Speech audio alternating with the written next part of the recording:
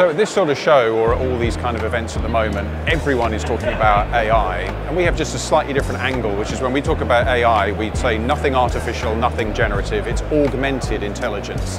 It's essentially using powerful and intelligent tools to empower the talent. So we're saying we're not going to replace you, we're going to give you superpowers.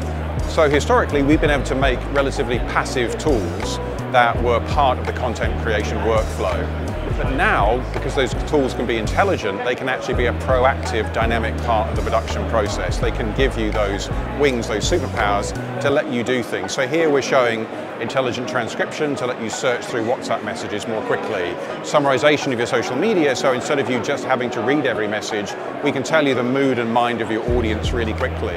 And we think that's something which broadcasters are really ready to pick up on, so we can do more of the content creation tasks that we've been struggling with and not have to worry about artificially replacing presenters, but generating better content from the individuals and the talent we already have.